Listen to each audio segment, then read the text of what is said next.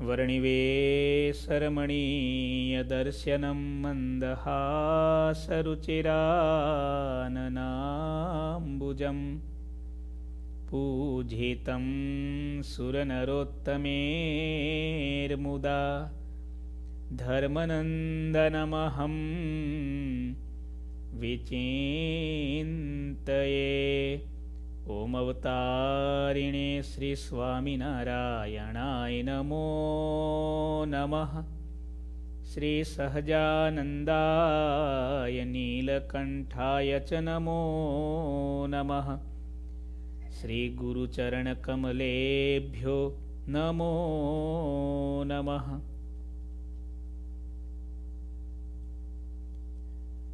બોલો શ્રી સ્વામિનારાયણ ભગવાનની શ્રી હરે કૃષ્ણ મહારાજની જય. શ્રી ઘનશ્યામ મહારાજની જય.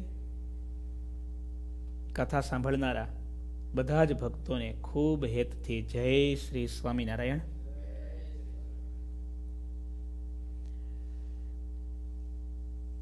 શ્રી હરિચરિત્રામૃત સાગર, પૂર ચોથું, તરંગ નવ્વાણુંમું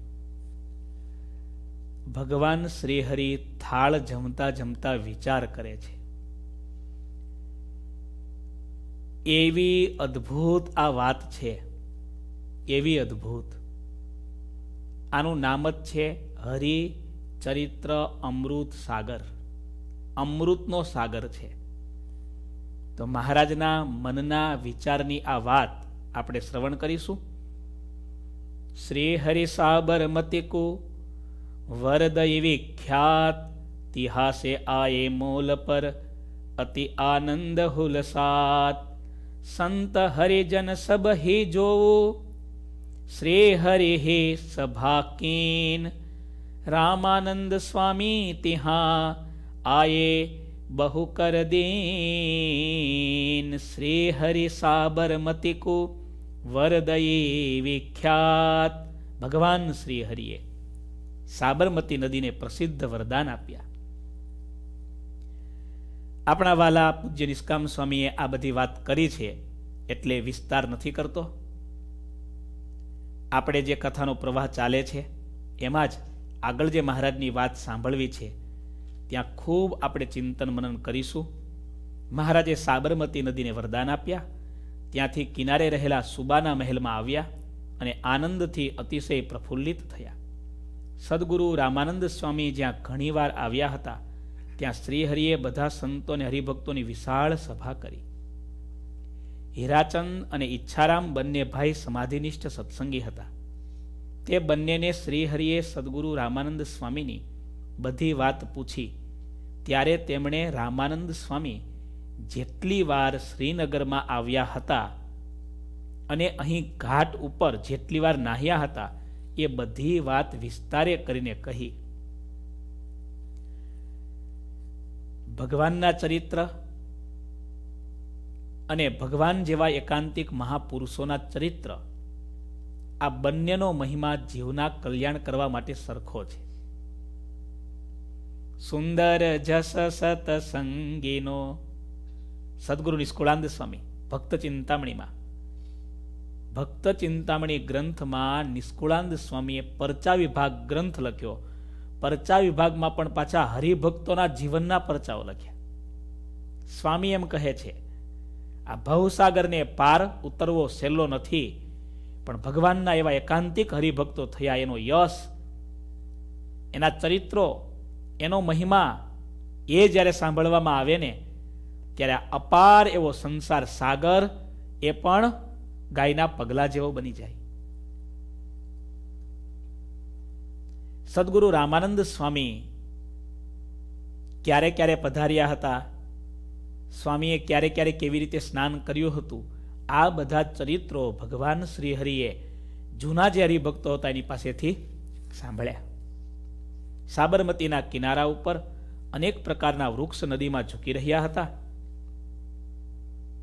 અનેક ભાતે કે વૃક્ષ હિતે હા સરિતા તટ પર ઝુક રહે તે હા સઘન વન અતે સોહત ભારે ફલ ફૂલ સબ સબ હિ રહે ધારે અનેક ભાતે કે વૃક્ષ હિ જે હા સાબરમતીનો કિનારો હતો. અને એક કિનારા ઉપર સરસ મજાના વૃક્ષ, વેલી, લતાઓ ચારે બાજુ ખીલેલા હતા. કારણ કે જળ છે, જીવન છે. જ્યાં જળ છે, ત્યાં જ વૃક્ષ, ત્યાં જ વેલી, ત્યાં જ પશુ, ત્યાં જ પંખી ત્યાં જ મનુષ્ય. વૃક્ષોના ઘાટા, વન અત્યંત રળિયામણા હતા. દરેક વૃક્ષ ફૂલ અને ફળોથી હરિયા ભર્યા દેખાતા હતા. તે બધા વૃક્ષ માનો શ્રીહરિની પૂજા કરવા માટે પ્રેમથી તૈયાર થઈ રહ્યા હોય એમ જણાવતું હતું. અનેક જાતિના પક્ષીઓ પરસ્પર કલરવ કરતા હતા. સત્સંગી જીવનમાં દ્વિતીય પ્રકરણમાં સૌથી પ્રથમ સભામાં રામાનંદ સ્વામીના ચૌદમાના દિવસે ફરેણી ગામમાં સૌથી મોટી, સૌથી પહેલી આ સત્સંગની હિસ્ટ્રી ઐતિહાસિક જે સભા થઈ, એમાં મહારાજે વાત કરી, જેવી રીતે નદી અને સરોવર હોય ત્યાં, પશુ અને પંખી આપોઆપ સામે ચાલીને ખેંચાઈને આવે છે. એવી જ રીતે જે ધર્મને પાળે છે, જે ભગવાનની આજ્ઞાનું અખંડ અનુસંધાન રાખે છે, ત્યાં સુખ અને સંપત્તિ સામે ચાલીને ખેંચાઈને આવવાના.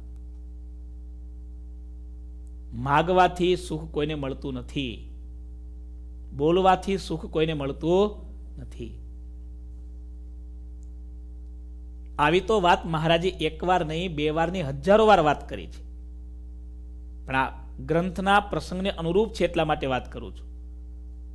સરોવર અને નદી જ્યાં છે, ત્યાં પશુ અને પંખી સામે ચાલીને ખેંચાઈને આવે છે. એવી રીતે જે મહારાજની આજ્ઞાને પાળે છે ત્યાં સુખ અને સંપત્તિ સામે ચાલીને ખેંચાઈને આવે છે.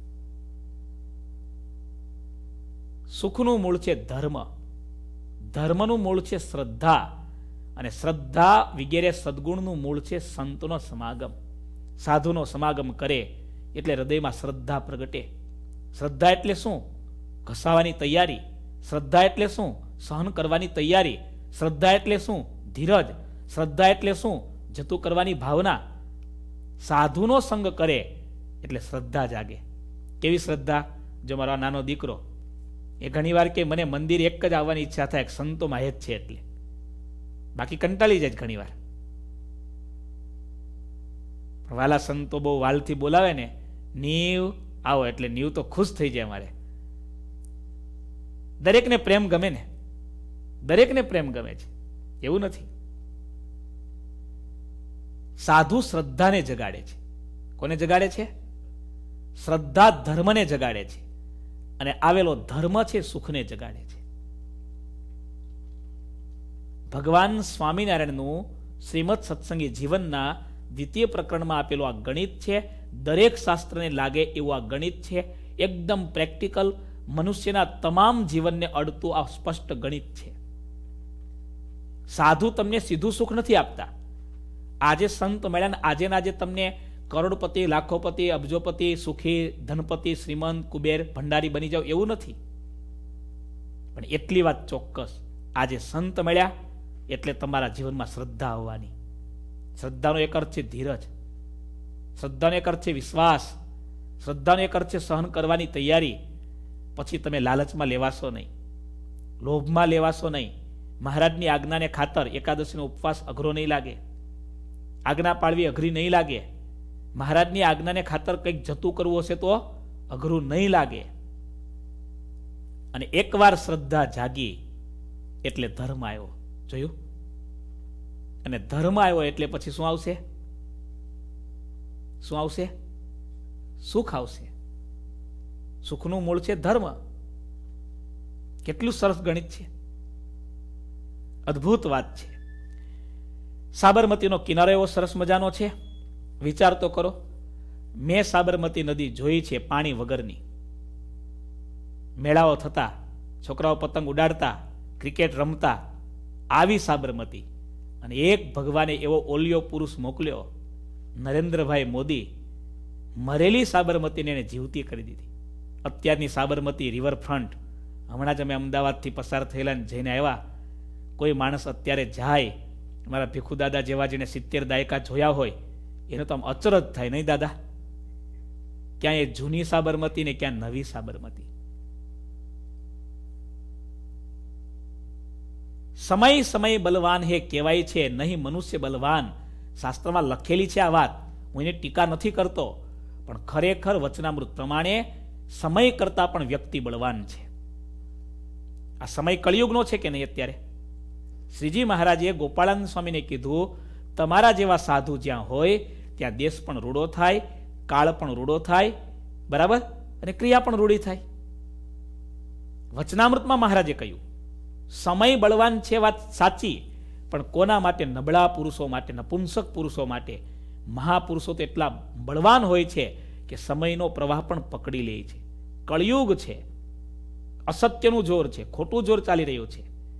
એવા સમયમાં પણ એક રાજા એવો બળ્યો, ધર્મનિષ્ઠ, સત્યનિષ્ઠ એક રાજા જો આવે, આપણે જોઈએ છીએ કેટલા સારા કાર્યો થયા.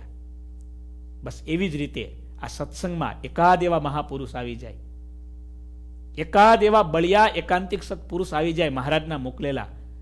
તો હજારો જીવ માયાના પગ નીચે ગયા હોય ને, હાથીના પગ નીચેથી પૂળો ખેંચવો હોય, તો શું થાય? નીવ ભગત? ના ખેંચાય.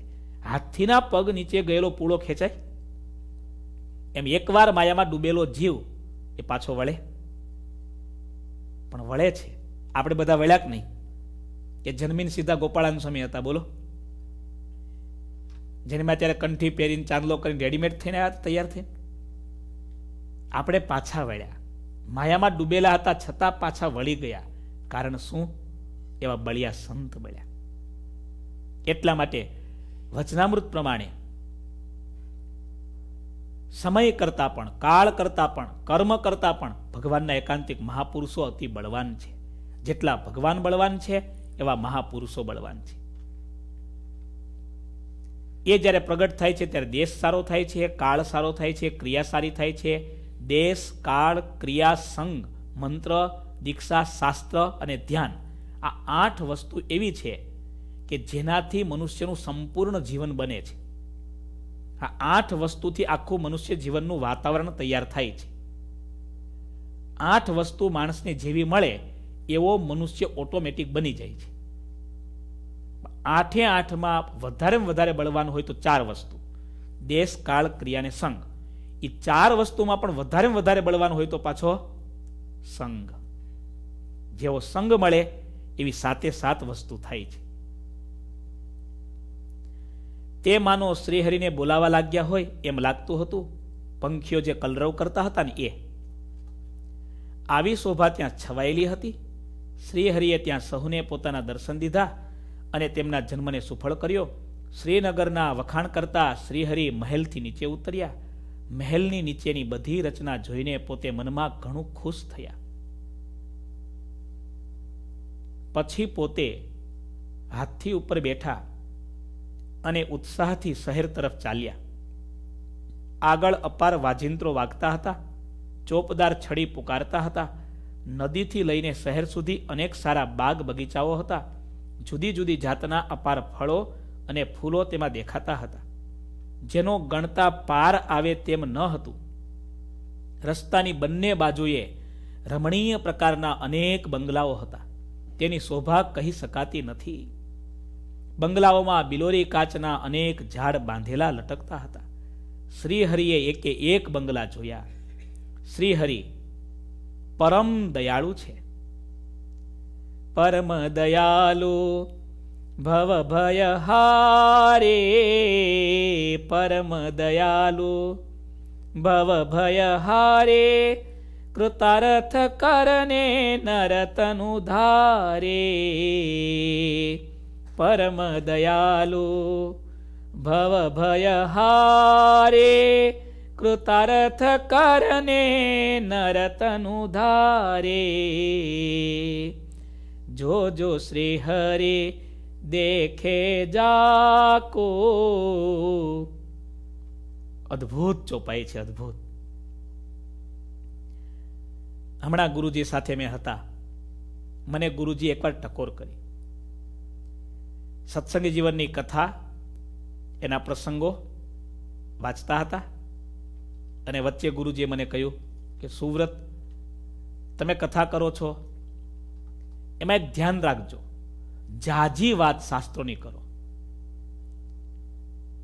આપણા ખિસ્સામાંથી કાઢેલી કોઈ વાત કરવાની જ નહીં. અને જે જીવને અસર છે ને, એ આ શાસ્ત્રોની વાતોની અસર છે. આ સબીજ શબ્દો છે. કેવા છે? આશિત ભગત? કેવા છે? સબીજ છે. ઉગી જાય એવા શબ્દો છે.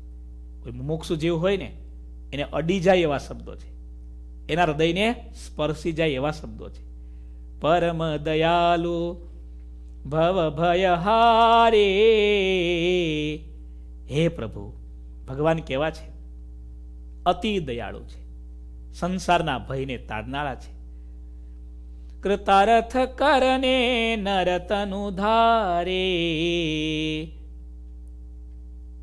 એમણે મનુષ્યનું શરીર ધારણ કર્યું છે.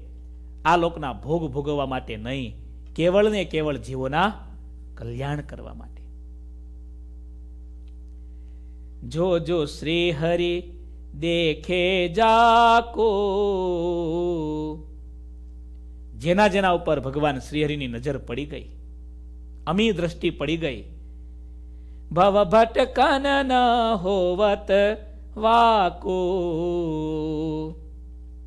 એ તમામ જીવ પ્રાણી માત્રના ભવના ભટકણ ટળી ગયા. સંસારનું ભ્રમણ એ બધાનું ભાંગી ગયું. શ્રી હરિ શહેરમાં આવ્યા. કેટલી વાતો કરું તમને શ્રીજી મહારાજ માટે આનંદાનંદ સ્વામી બે કેરીની ગોટલી લઈને આવ્યા. બે કેરી લઈને આવ્યા. મહારાજને આપી. મહારાજ કેરી જેમાં. કેરીની ગોટલી મહારાજે નીચે નાખી, લઈ લીધી. મહારાજે કહ્યું, શું કરશો? મહારાજ, આ કેરીની ગોટલી વાવીશું. એમાંથી પ્રસાદીનો આંબો થશે. એ આંબાની કેરી જે કોઈ જમશે, એનું પણ રૂડું થશે. એ આંબાની પાછી ગોટલીઓ જ્યાં જ્યાં વવાશે, એમાં પણ તમારી પ્રસાદીનો સંબંધ થશે. એવી રીતે આ આંબાનું બીજ જેટલું જેટલું જેટલું ફર્યા કરશે એ બધા જીવોને એન કેન પ્રકારે તમારો સંબંધ થશે. મહારાજ હસ્યા. મહારાજ કે, સાધુ, આ ગોટલી હવે નહીં ઉગે. કેમ?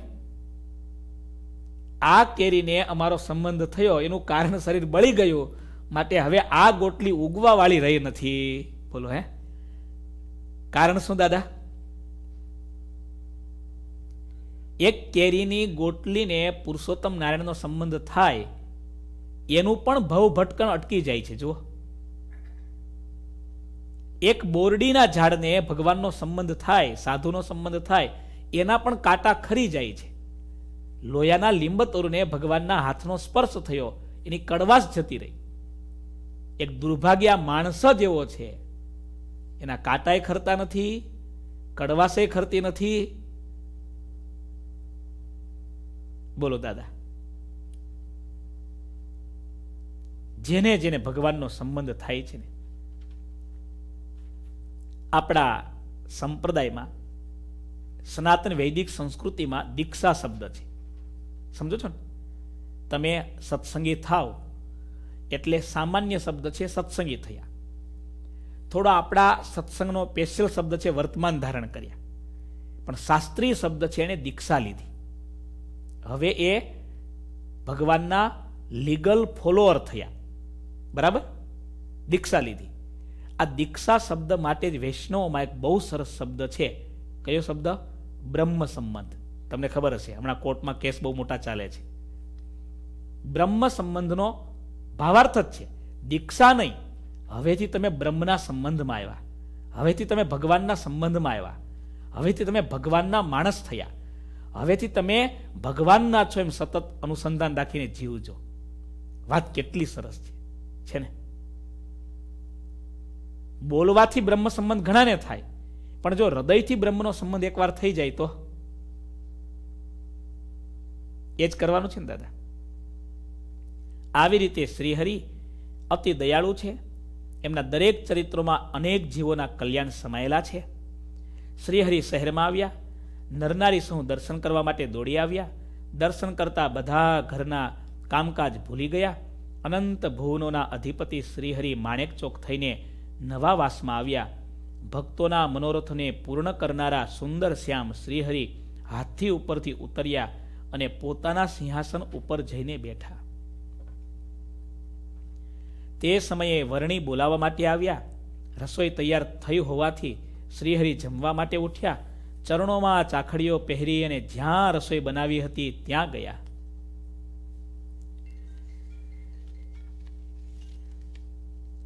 નથુભાઈ વિપ્રે શ્રીહરિને સારા બે પિતાંબર આપ્યા. તેમાંથી એક પહેર્યું, એક ઓઢ્યું.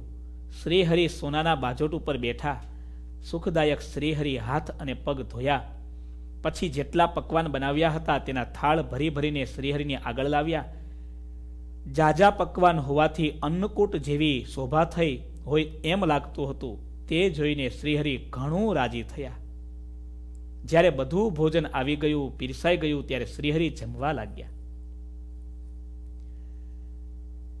ભગવાન પધારે, સંતો ઘરે પધારે ત્યારે આનંદ અતિશય થાય. આ વર્ષે, એટલે કે ગયા વર્ષે ગુરુજી અમેરિકા પધાર્યા. ત્યારે હરિભક્તોએ ઠાકોરજી મહારાજની પધરામણી ઘરે ઘરે કરાવી. ગુરુજી ઠાકોરજીને લઈને આવ્યા હતા. ઠાકોરજી મહારાજની પધરામણી થઈ. ઘરે ઘરે હરિભક્તોએ ન્યુજર્સીમાં શું, એટલાન્ટા મેકનમાં શું, ફ્લોરિડામાં શું? ક્યારેક તમને દર્શન કરાવીશું, મેં ફોટા સાચવી રાખ્યા છે. હરિભક્તોએ એવા સરસ મજાના અન્નકોટ ઠાકોરજી માટે ધરાવ્યા. ગુરુજી પણ અતિશય રાજી થયા. હમણાં પણ વડોદરા ઉત્સવમાં બેથી ત્રણ વાર ગુરુજીએ કથાવાની નોંધ લીધી હતી, તમે સાંભળી હશે. વાલા ભક્તો આ વર્ષે પણ મહારાજ, ઠાકોરજી મહારાજ અને ગુરુજી પધારી રહ્યા છે. ભગવાન આવે, એના માટે તો જેટલું કરીએ એટલું ઓછું છે. જેટલું કરીએ એટલું ઓછું છે. કદાચ એના માટે આ શરીરનું ચામડું ઉતારીને કદાચ આપી દેવું પડે તો પણ, કહેવાય છે ને, સો શિર આપતા પણ સોંઘા છોગાળા, સો મસ્તક જાતા સોંઘા છોગાળા, તો એક શિર કે લીએ ક્યું ડરત હે ગમારા? માટે આ વર્ષે પણ જ્યાં જ્યાં, જેના જેના ઘરે ઠાકોરજી મહારાજની અને ગુરુજીની પધરામણી, સંતોની પધરામણી થતી હોય, એ બધા ભક્તો પધરામણીનો મહિમા તો જ હોય, તો જ આપણે બોલાવા. જો પધરામણીનો મહિમા ન હોય, તો આપણે આગ બોલાવવાનો આગ્રહ પણ ન રાખવો જોઈએ. સારું છે અત્યારે, આ તો કથાનો પ્રસંગ છે એટલે વચ્ચે વચ્ચે ટકોર કરી દઉં. ઘણા હરિભક્તો પધરામણી બોલાવે. ઘરે ચાદર પણ ન પાથરી હોય, ઠાકોરજી માટે ઠાકોરજી માટે ટેબલ પણ ન રાખ્યું હોય. તમે ઠાકોરજીની પધરામણી નથી કરાવતા. ઠાકોરજીનો કુરાજી પોલો છો. સંતો તો ક્યાં કુરાજી થવાના તો દયાળુ છે. પણ મહારાજ આપણા ઘરે આવે છે રાજાધી રાજ આપણા ઘરે આવે છે, ઓબામા પ્રેસિડેન્ટ આપણા ઘરે આવતો હોય, કેવી તૈયારી કરીએ આપણે? આપણા વાલમ વાલા કોઈ સગા આવતા હોય કેવી તૈયારી કરીએ? તો મહારાજ તો આપણું જીવન છે, આપણું સર્વસ્વ છે. તો ઠાકોરજી આપણા ઘરે પધરામણીએ આવે મહારાજનું સરસ આસન હોય, મહારાજ માટે આરતી, પુષ્પ, હાર, જે આપણાથી થાય, સારો પ્રસાદ, સારી વાનગી, સારો અન્નકોટ, સારું નૈવેદ્ય, એ તૈયાર રાખીએ. શાસ્ત્ર પ્રમાણે છે. ગુરુજી પધારે છે આપણા ઘરે. કોરી ચોખ્ખી, સંતો બેસી શકે એવી કોરી ચાદર સરસ મજાની તૈયાર રાખીએ. આંગણામાં દીવા પૂરીએ, આંગણામાં સાથિયાઓ કરીએ, આંગણામાં રંગોળી પૂરીએ. આ પ્રેમ છે. આ આપણી ભાવના વ્યક્ત કરવાની રીત છે. માટે આવી રીતે મહારાજના સમયમાં પણ હરિભક્તો જો અનકોટ કરતા, મહારાજ હજી પધાર્યા છે, કંઈ પહેલેથી નક્કી નથી થયું.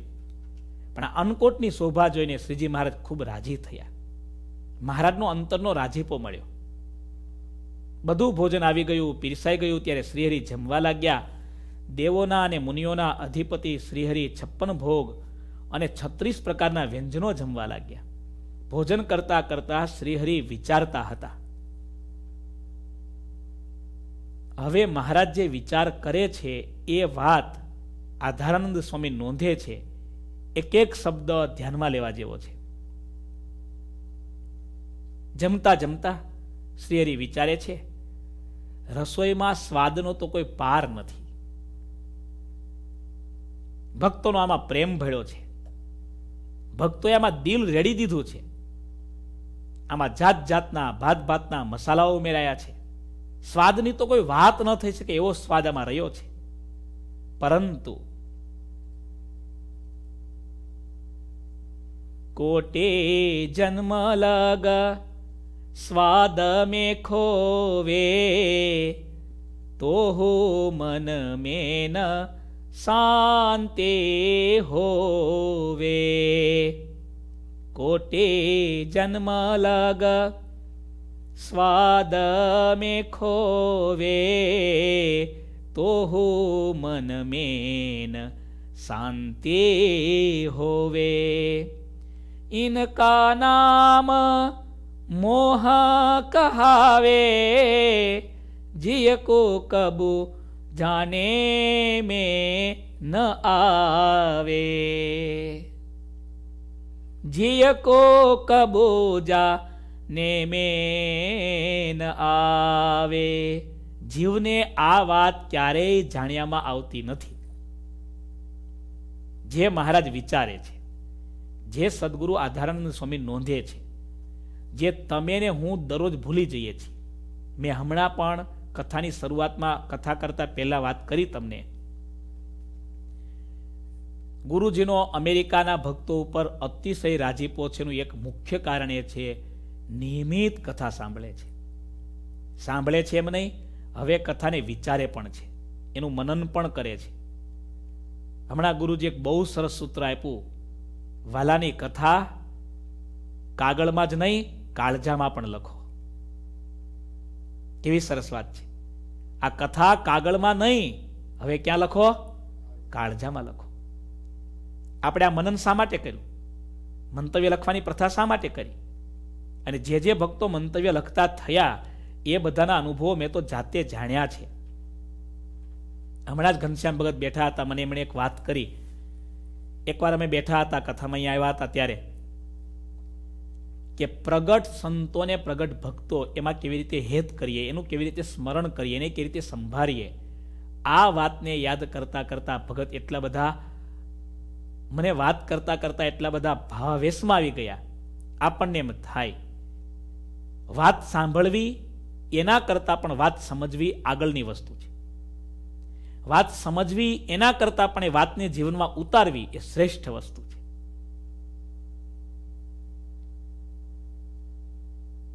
ઘણીવાર ઉત્સવો, સમયા આ બધું કરીએ ને, એમાં આપણે એક કામ ચૂકી જઈએ છીએ. શું? કથા વાર્તાને જીવનમાં ઉતારવાનું. ગુણાત્યાનંદ સ્વામી વસો ગામમાં આવ્યા. વસો ગામમાં મહારાજના આશીર્વાદથી જેમનો જન્મ થયો તો તુલસીભાઈ, બહુ સારા ભક્ત. તુલસીભાઈના દીકરા વાઘજીભાઈ, એ પણ એવા પરમ એકાંતિક ભક્ત. બાપ દીકરા એકાબીજાને ચડે, વટે એવા ભક્તો. ગુણાત્યાનંદ સ્વામીને બોલાવ્યા છે. શ્રીજી મહારાજ ધામમાં ગયા પછીની વાત. ત્રણ દિવસ ગામમાં રાખ્યા છે, એટલો મોટો સમયો કર્યો છે, દેશ દેશાંતરના હરિભક્તોને બોલાવ્યા છે. ત્રણ દિવસ સુધી વાઘજીભાઈ અખંડ ગુણાત્યાનંદ સ્વામીની સેવામાં અને તુલસીભાઈ એ માણસોની સરભરામાં, મોટા માણસ હતા એટલે.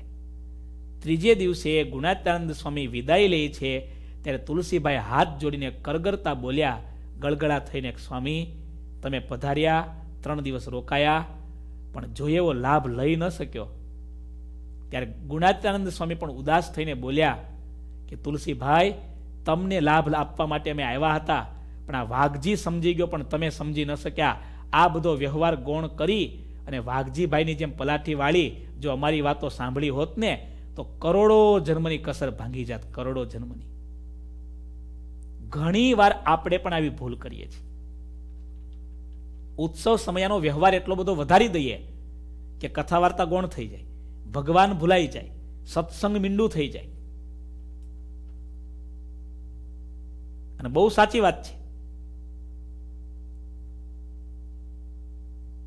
શાક ગમે એટલું સારું બનાવીએ, ગમે એટલા સારા મસાલા નાખીએ, પણ મીઠું નાખવાનું ભૂલાઈ જાય તો દાદા? બસ એવી જ રીતે આપણા જીવનમાં ગમે એટલી આપણે સજાવટ કરીશું, પણ ભગવાન ભૂલાયા એટલે સમજીએ કે જીવનમાં બહુ મોટી ભૂલ કરી. શ્રીજી મહારાજ જમે છે અને વિચાર કરે છે. આપણે આવો વિચાર ક્યારેક કર્યો નહીં હોય.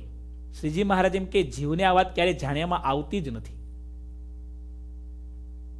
કઈ વાત વાંચું છું ધ્યાનથી સાંભળજો, હા. જીવ રસાસ્વાદમાં કરોડો જન્મને ખોવે છે. સ્વામી વિવેકાનંદે એક પ્રવચનમાં એમ કહ્યું હતું કે હિન્દુ ધર્મ રસોડામાં કેદ થઈ ગયો છે. શું બોલ્યા? હિન્દુ ધર્મ રસોડામાં કેદ થઈ ગયો છે. ઊંઝા ગામના ઉદયકુંવર બાય હતા. શ્રીજી મહારાજ આવ્યા. શ્રીજી મહારાજના આગમનની તૈયારીમાં બાઈ એટલા બધા ભાવ વિભોર બની ગયા. એટલી બધી રસોઈ બનાવી, એટલી બધી રસોઈ બનાવી. શ્રીજી મહારાજના દર્શન માટેનો ટાઈમ ન મળ્યો એમને. સેવા સાચી હતી. સાંભળજો, ભૂલ ભૂલ ક્યાં થાય છે? સેવા સાચી હતી. એમનો ઉત્સાહ સાચો હતો, એમનો આનંદ સાચો હતો, પણ એમાં વિવેક ચૂકાઈ ગયો. સેવા કોના માટે હતી?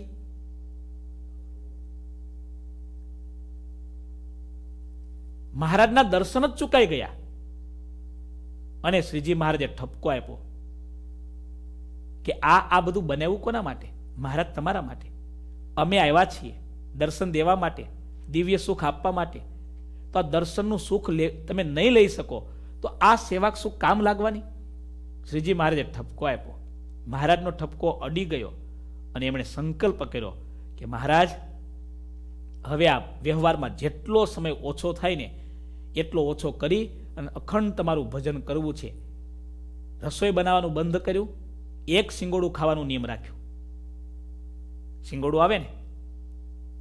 એક સિંગોડું ખાઈ લેવાનું, એમાં પૌષ્ટિકતા પૂરેપૂરી હોય અને ભગવાનનું અખંડ ભજન કરવું, તેર વર્ષ સુધી, તેર વર્ષ સુધી કોઈ રસોઈ બનાવવાની નહીં, ખોટી ઝંઝટ કરવાની નહીં, ઓછું જમવાનું ને જાજુ ભજન કરવાનું. ઉત્સાહ હોવો જોઈએ, ઉત્સવો કરવા જોઈએ, આનંદ કરવો જોઈએ, મહારાજની સેવા કરવી જોઈએ, પરંતુ સેવા કરતા સત્સંગ ચૂકાઈ જાય તો સેવા ખોટી. સેવા સત્સંગ વિનાની છે. સાંભળજો સેવા જો સત્સંગ વિનાની છે, તો કલ્યાણ નહીં કરી શકે. પણ સત્સંગ છે ને સેવા નથી કરી શકતો, તો કલ્યાણ થઈ જશે એનું. કારણ કે સત્સંગ તો કરે છે ને. ઘણા ભક્તો એવા હોય, એની પાસે ધનની કેપેસિટી ન હોય. જેતલપુરના જીવન ભગત જેવા હોય. અતિ ગરીબ હોય. દુબળી ભટ્ટ જેવા હોય, અતિ ગરીબ હોય, સુદામા જેવા હોય. સેવા ન કરી શકે, દોડધામ ન કરી શકે, પણ સાધુમાં અપાર હેતુ હોય. પલાઠી વાળીને છેલ્લે સભામાં ખૂણામાં બેઠા બેઠા કથા સાંભળતા હોય. અમે હમણાં વડોદરામાં ગયા. ઇન્ડિયાના અમુક ભક્તો એવા પ્રેમી, એવા નિર્દોષ, એટલા નિર્મળ, એટલા દાસ ભાવે સેવા કરતા, એટલા દાસ ભાવે. આપણા હૃદયમાંથી હા પડી જાય. આપણા હૃદયમાંથી અંતરમાંથી શબ્દ નીકળી જાય કે મહારાજ, આ જીવનું કલ્યાણ સૌથી પહેલું કરશે. શ્રીજી મહારાજ જો આ સભામાંથી પસંદ કરે મારા ધામમાં કોને બેહારવા, તો પહેલો નંબર આનો લાગે. એવા જીવન હોય. જોયા છે ને તમે? જોયા છે કે નહીં? બિચારા સત્સંગ કરતા હોય, બહુ દોડધામ ન કરી શકે, બહુ ખર્ચ ન કરી શકે, બહુ ઉત્સાહથી જાજા પનકોટ કે મોટા સમય ન કરી શકે, પણ ભલે સત્સંગ છે ને, એ સત્સંગ આત્યંતિક કલ્યાણ સુધી પહોંચાડશે. શ્રીજી મહારાજ શું વિચારે છે? કરોડો જન્મો જીવે રસાસ્વાદમાં ખોયા છે. અને અત્યારે સાચી જ વાત છે. મનુષ્યનું આખું જીવન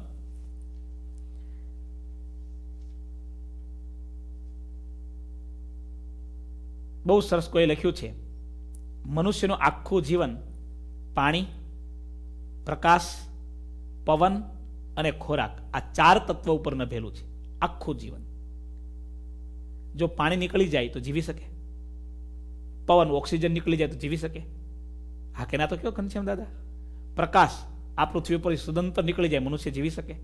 અને ખોરાક આ ચાર વસ્તુ મનુષ્યના જીવનમાં કમ્પલસરી છે.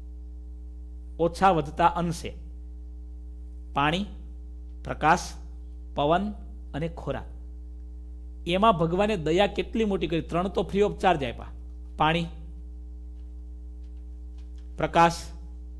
બોલો દાદા, બિલ આવે છે સૂર્યનું લાઇટનું? પવન, ઓક્સિજન, એક જ વસ્તુ માણસે મહેનત કરવાની છે. કેના માટે? પણ એક વસ્તુ માટે માણસ કેટલો બધો ટાઈમ બગાડે છે, કેટલો બધો ટાઈમ ઘણી વાર તમે જુઓ છો ને.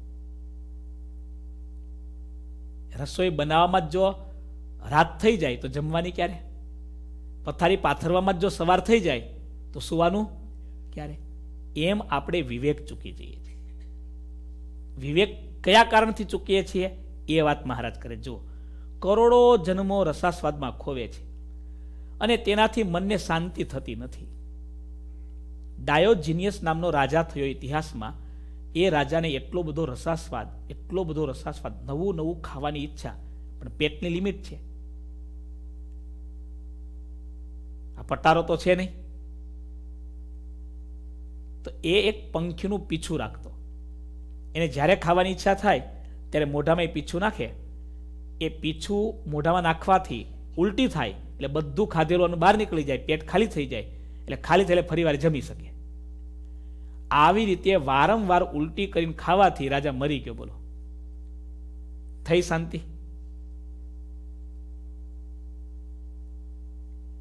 અત્યારનું વિજ્ઞાન પણ સ્વીકારે છે.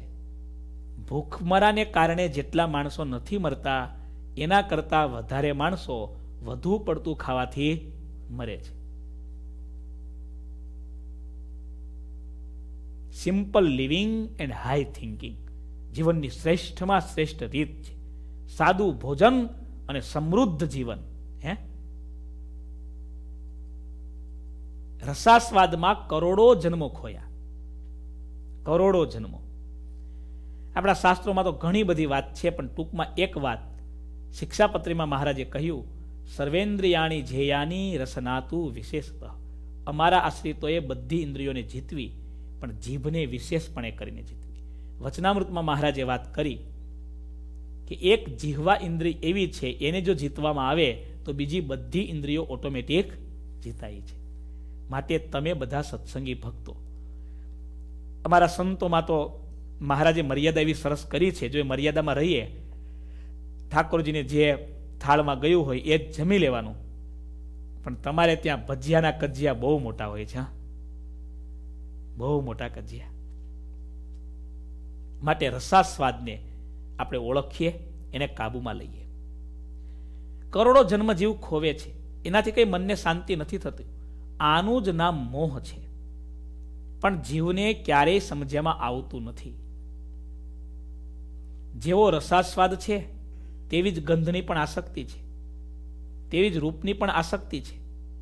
અને તે પ્રમાણે જ શબ્દ પણ બંધનકારી છે સ્પર્શ વિષય છે તે પણ તેવો જ છે. પાંચ વિષયોને ભોગવવામાં પોતાનું હિત અને અહિત કેટલું છે તે અંગે જીવ તપાસ કરતો જ નથી. જેને ભગવાનને રાજી કરવાના હોય તેને આ માયિક પંચ વિષય વિઘ્નરૂપ છે. જેણે ભગવાનને રાજી કરવા હોય, એના માટે શું વિઘ્નરૂપ છે દાદા? પંચ વિષય વિઘ્નરૂપ છે. ઇન્ડિયામાં દસમા બોર્ડની એક્ઝામ હોય અને છોકરો બધાના લગ્નમાં જાય, આખો દિવસ ક્રિકેટ જોવે, આખો દિવસ ટીવી જોવે, તે પાસ થાય ખરો? હા કે ના તો કયો? ક્યારેય પાસ ન થાય. એક્ઝામમાં પાસ થવા માટે એમાં વિઘ્નરૂપ છે ટીવી, વિઘ્નરૂપ છે બહુ વિચરણ, વિઘ્નરૂપ છે જે તે જગ્યાએ મનને ડિસ્ટ્રેક્ટ કરવું. આ બધી વિઘ્નરૂપ પ્રવૃત્તિ બંધ કરે અને એકાગ્ર થઈને ભગવાનને ભણવા બેસે, તો જ એ બાળક પરીક્ષામાં પાસ થઈ શકે.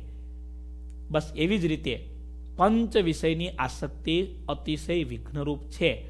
કોના માટે? જેણે ભગવાનને રાજી કરવા છે એના માટે. એના કરતાં આપણે આગળ થોડું વિચારીએ. જેણે આ લોકમાં પણ સુખેથી શાંતિથી રહેવું છે, એના માટે પણ આ પંચ વિષયની આસક્તિ દુઃખરૂપ જ છે. કુરંગ માતંગ પતંગ ભૃંગા મીના હતા પંચ ભીરેવ પંચ. માછલી એટલું ચંચળ પ્રાણી છે, કોઈ દિવસ હાથમાં ન આવે. પણ માછલીને જીહવા શક્તિ, જીહવા લોલ્ય પ્રસક્તાનામ શાસ્ત્રમાં દ્રષ્ટાંત આપ્યું.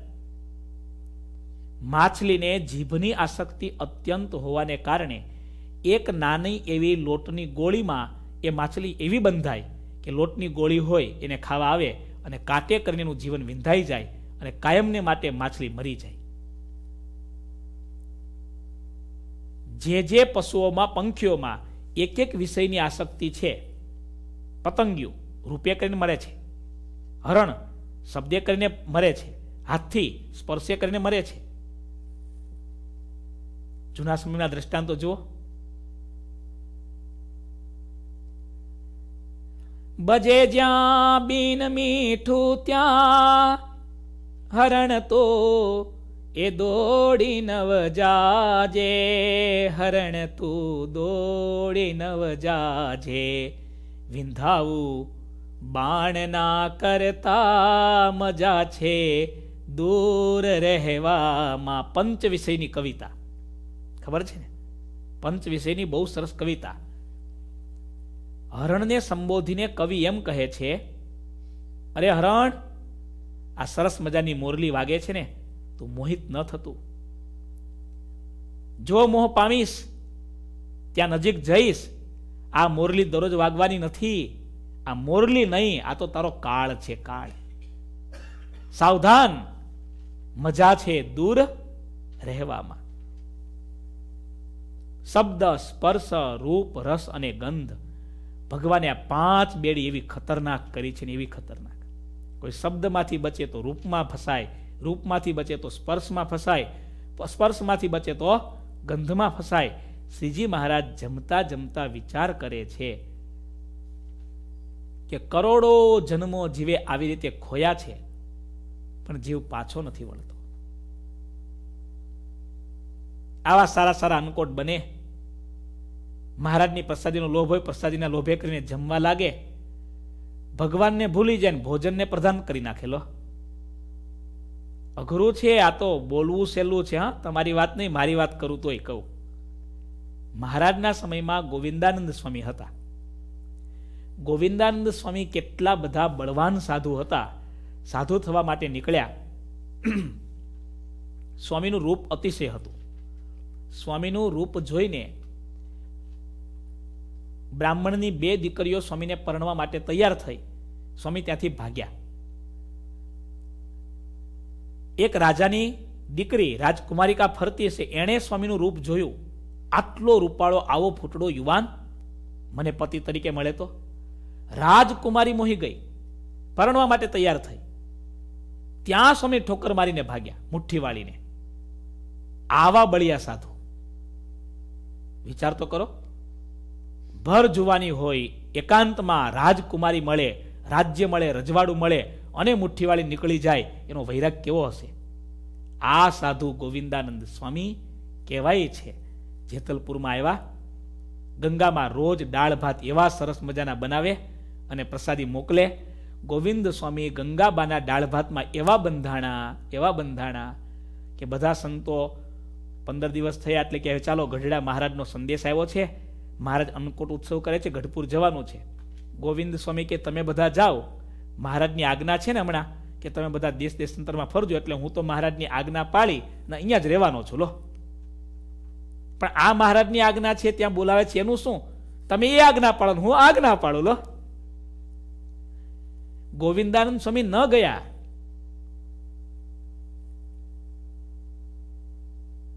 શા માટે ન ગયા? કે આ જેતલપુર છોડીશું તો આવા દાળ ભાત ખાવા નહીં મળે. તમે કલ્પના કરો, આ બધી વાતો તમને ને મને સમજાવવા માટે છે. આપણે જો બહુ ફાકો મારવા જઈશું ને, તો નહીં ચાલે. એના કરતાં મહારાજની બાંધેલી જે મર્યાદાઓ છે ને, એમાં રહેશું ને, એમાં જ તમારું ને અમારું બધાનું કલ્યાણ છે. કેટલી અદ્ભુત વાત. ગોવિંદાનંદ સ્વામી દાળ ભાતમાં બંધાયા. મહારાજે સંતોને પૂછ્યું, સાધુઓ, તમે બધા આવ્યા ગોવિંદ સ્વામી કેમ ના આવ્યા? મહારાજ, એ તો ત્યાં જેતલપુરમાં રહ્યા. આવી રીતે કઈને રોકાયા છે. અમે કહ્યું તો પણ પરાણે રોકાયા. અંતર્યામી હતા ને. જાણી ગયા. કે આમાં તો સ્વામીના હૃદયમાં કપટ પણ છે અને સ્વામીના હૃદયમાં પાછો સ્વાદ પણ છે. એક દોષ બીજા કેટલા દોષને બોલાવે? એક દોષ બીજા કેટલા દોષને બોલાવે? અને જીવનમાં એક સારો ગુણ એ બીજા કેટલા ગુણને બોલાવે. એટલે હું ઘણી વાર કથામાં વાત કરું છું, વારંવાર કરું છું કે માણસે મહેનત કરીને પોતાના જીવનના દોષ એને ટાળવા જોઈએ. અને એના કરતાં પણ મહા મહેનત કરીને માણસે સારી ટેવ, સારા સદગુણો જીવનમાં ઉતારવા જોઈએ. કારણ કે એક સારો સદગુણ હશે તો બીજા દસ સારા સદગુણ ઓટોમેટિક આવશે. ઉતારવા જેવો સારો સદગુણ કયો? જીવનમાં કેળવવા જેવો સારો સદગુણ કયો? કથા વાર્તા સાંભળો. સદગુણ નાનો છે. સદગુણ નાનો છે. ઘણા લોકો ટીકા ટિપ્પણી કરે. આટલા લોકો કથા સાંભળે. કોણ સુધર્યું? કેનારા બધું કહે છે. પણ શાસ્ત્ર પ્રમાણે, અમારા સંતોના અનુભવ પ્રમાણે, તમે બધા કથા સાંભળો છો તમારા અનુભવ પ્રમાણે પણ. તમે જ્યારથી કથા સાંભળતા થયા, જ્યારથી તમારું મન કથામાં થોડું સ્થિર થયું, આ એક ગુણ આવ્યો પછી તમારા જીવનમાં કેટલા ગુણ આવ્યા? તમે જુઓ, તપાસો. જે કથા સાંભળનારા હરિભક્તો જેટલા બેઠા બધાને પ્રશ્ન પૂછું. તમે કથામાં સ્થિર થઈને સાંભળતા થયા, તમારા ઘરમાં, તમારા જીવનમાં, તમારા પરિવારમાં, તમારા દીકરાઓમાં, બરાબર? પતિ પત્નીમાં સારા સદગુણો કેટલા ને કેવા કેવા આવ્યા તમે વિચારો? આવ્યા છે? હા કે નહીં? મને કયો બધા જ હા પાડશે. મહારાજને દુઃખ થયું. આવા સારા સાધુ. દાળ ભાતમાં બંધાય. અમારી મૂર્તિનું સુખ છોડી દે અને પાછા સાધુઓ સાથે કપટ કરે. મહારાજને દુઃખ થયું. મહારાજ પોતે જેતલપુર આવ્યા. હવે તો દર્શન કરવા આવે ને, હવે ક્યાં જાય? સ્વામી દર્શન કરવા આવ્યા. મહારાજ તો અંતર્યામી હતા, જાણતા જ હતા. ગોવિંદ સ્વામીને ઠપકો આપ્યો. સ્વામી પણ એવા આપણા જેવા કંઈ હતા નહીં. એ તો મુક્તો હતા બધા. આ બધી લીલા તો તમને ને અમને સમજાવવા માટે હતી. એ કંઈ બંધાય એવા નહોતા. પણ મહારાજે સ્વામીને બહુ આકરો દંડ આપ્યો. સ્વામી, તમારા જેવા સાધુને આવી રીતે બંધાય? ગળામાં રીંગણાનો હાર પહેરાવ્યો આખા ગામમાં હાવ હાવ કરાયો, બોલો. શ્રીજી મહારાજે રસાસ્વાદ ટાળવા માટે ગોવિંદ સ્વામીને દંડ પણ આપ્યો શિક્ષા પણ આપી, કડક શબ્દો પણ કયા, તો પણ એ તો એવા સમર્થ સંતો હતા. પાછા નીકળી ગયા. પણ કરોડો જીવો એવા છે. કોઈ રસમાં, કોઈ શબ્દમાં, કોઈ સ્પર્શમાં, કોઈ રૂપમાં એવા ફસાય છે, એવા મરી જાય છે. માટે મહારાજ કહે છે, આ વાત જીવને સમજાતી નથી. એનું કારણ શું છે? મોહ છે. શું કારણ છે એનું? જો સાંભળો. મોહ કો અંતન આવે કબો કબો ન ભજે હરિતે. મોહ કો માર્ગ છોડ દે તબ હોય હરે સે ને મોહ અંતન આવે કબો. મહારાજ એમ કહે છે, મોહનો અંત ક્યારેય આવતો નથી. મોહ હોય ત્યાં સુધી ક્યારેય ભગવાનનું ભજન પણ થતું નથી. ઉપરથી દેખાય ભજન થાય છે. પણ અંદર કોનું ભજન થાય? જેનો મોહ હોય એનું ભજન થાય. આપણા જૂના સંતો એમ કહેતા, મોક્ષ એટલે શું? મોક્ષ. મો એટલે મોહ, ક્ષ એટલે ક્ષય. મોહનો ક્ષય એનું જ નામ મોક્ષ. અમુક તત્વ તો આ સત્સંગમાં એટલા બધા સમજવા જેવા છે. એટલા બધા સમજવા જેવા છે. હજી તો વાત ઘણી બધી લાંબી છે. શ્રીજી મહારાજ અદ્ભુત વાત કરે છે. પંચ વિષયમાં જીવને આસક્તિ છે. એ આસક્તિને કારણે જીવને મોહ થાય છે. અને મોહને કારણે જીવ સાચી વાતને સમજતો નથી. અને સાચી વાત ન સમજી શકવાને કારણે કરોડો જન્મ બગાડે છે. સમજાણું તમને? આટલી વાત શ્રીજી મહારાજે કરી. હજી બરાબર બેઠું મગજમાં? આશિત ભગત? પંચ વિષયમાં ક્યાંક આસક્તિ છે, એને કારણે જીવને મોહ થાય છે. મોહ થવાને કારણે જીવને સાચી વાત સમજાતી નથી. સાચી વાત સમજાતી નથી એને કારણે કરોડો જન્મ જીવ આવી રીતે બગાડી નાખે છે. હવે સમજાણું? હવે મહારાજ મોહને સમજાવે છે. કોને સમજાવે છે? અઘરામ અઘરું આ તત્વ છે. સીતા જેવા સીતા ભગવાનના પત્ની હતા. આદ્ય શક્તિ હતા. મા જગદંબાનું સ્વરૂપ કહેવાય. તેમ છતાં હરણમાં મોહ થયો અને કેવો મોહ થયો? હરણ ક્યારેય સોનાનું હોઈ ન શકે, પણ સોનાનું દેખાણું. જે સીતા ક્યારેય રામના પડછાયા થઈને રહેનારા હતા, રામને આદેશ ન કરે, એ સીતાએ જીદ પકડી. મને હરણ લાવી જ દો. આ સોનાનું હરણ મારે જોઈએ જ. જે સીતાએ ક્યારેય રામની આગળ જીદ નથી કરી, રામને આદેશ નથી કર્યો એ સીતાએ રામને આદેશ કર્યો, ગમે તેમ થાય મને આ હરણ લાવી દો. સીતાને જે મોહ થયો, એમાંથી કેટલી મોટી ઉપાધિ થઈ? મોહ સકલ વ્યાધીન કરમૂલા તિન તે ઉપજહે પુનિ બહુ સૂલા. મોહ સકલ વ્યાધીન કરમૂલા તિન તે ઉપજહી, પુનિ બહુ સોલા. મોહ સકલ વ્યાધીન કરમૂલા બધી ઉપાધિનું મૂળ કારણ કોણ છે? મોહ. મોહનું સ્થૂળ નામ છે આસક્તિ. અને સૂક્ષ્મ નામ છે મોહ. પણ આસક્તિને તમે ઓળખી શકો, પણ મોહને નથી ઓળખી શકતા. આજે થોડી છણાવટ કરી દઉં. આસક્તિને તમે ઓળખો છો, પણ મોહને ઓળખી નથી શકતા. હવે તમને એક સિમ્પલ દ્રષ્ટાંત આપું. તમારા બધાના ઘરમાં ઝઘડો હશે હશે ને હશે. બધાના ઘર, કોઈ બાકી નહીં હોય.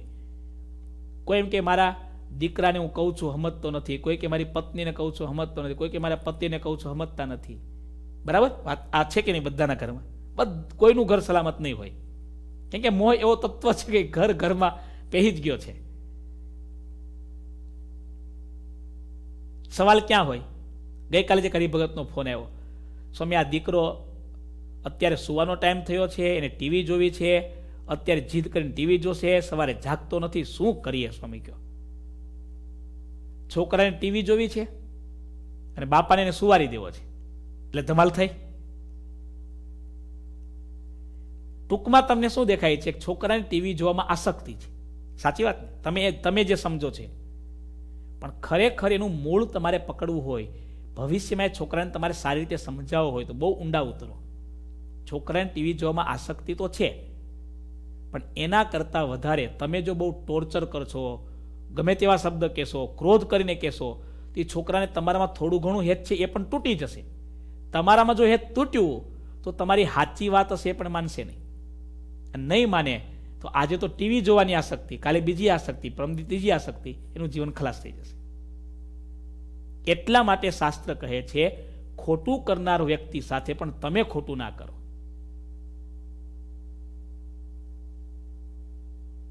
એ જે આસક્તિ છે, એ આસક્તિ એનું મૂળ તત્વ છે મોહ. મેં હમણાં કહ્યું પંચ વિષયની આસક્તિમાંથી મોહ જન્મે છે. મોહ જન્મે છે, એ જીવને કોઈની વાત સમજાતી કોઈની વાત સમજાતી નથી એટલેનો કરોડો જન્મ બગડી જવાના. માટે તમને દેખાય છે કે દીકરાને ટીવીમાં આસક્તિ છે, તમે સાવધાન થાવ, તમે થોડું ધ્યાન રાખો. એ છોકરાને પ્રેમથી, એ છોકરાને બહુ સમજાવીને ધીમે ધીમે તમે જો ધ્યાન રાખશો, તો એને તમારામાં થોડું હેત થશે, તમારી વાત મનાશે, તો એ આસક્તિમાંથી બહાર નીકળી જશે. પણ તમે સામે કુહાડો જ લો તો. બહુ સમજવા જેવી આ વસ્તુ છે. વચનામૃતમાં પણ મહારાજે મધ્યનું વચનામૃત પહેલું આખું મોહનું વચનામૃત કહેવાય છે. તમને બધાને વિનંતી, કાલે મોહનું વચનામૃત વાંચી લેજો તમે બધા. આપણે વિશેષ ચર્ચા આવતીકાલે કરીશું. ચોવીસ ચોપાઈ સુધીની કથા પૂરી થાય છે. બોલો ઘનશ્યામ મહારાજની.